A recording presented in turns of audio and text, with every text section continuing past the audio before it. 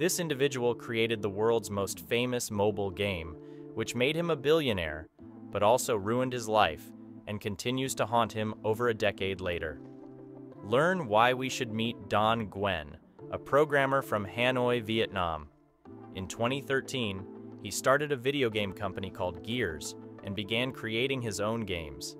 He was particularly interested in mobile games, but felt they were too complicated and cluttered, so he decided to make his own. His first mobile game, Shuriken Block, was incredibly simple. Prevent shurikens from hitting people by tapping the screen. Players had three lives and lost one when hit. Don wanted to simplify things further, leading to the creation of Flappy Bird. The game involved tapping the screen to make a bird fly and avoid large green pipes.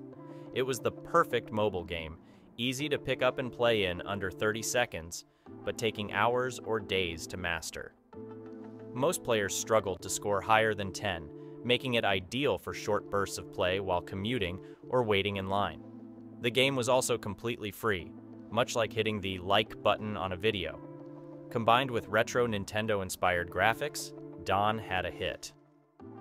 However, Flappy Bird initially flopped, receiving almost no downloads for the first few months.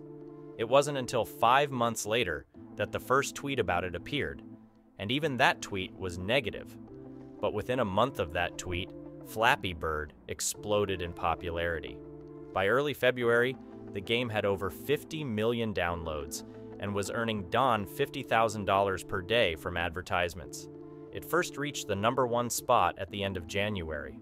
A well-known YouTuber, PewDiePie, made a video about the game, causing another massive surge in downloads. The game's sudden success was a mystery, even to Don and others, similar to how games like Minecraft and Among Us gained popularity without significant advertising. Despite achieving every independent game developer's dream, Don was miserable. Although he loved the game, he didn't tell his parents about it even though he still lived with them. They only learned about his success from local news reports. As the game's popularity grew, so did Don's suffering. The media reported on Flappy Bird due to its popularity, but many outlets claimed it was dangerously addictive and should be avoided. Game journalists criticized it, calling it lazy and accusing Don of using stolen assets from Super Mario games. There were even rumors that he had paid for fake reviews.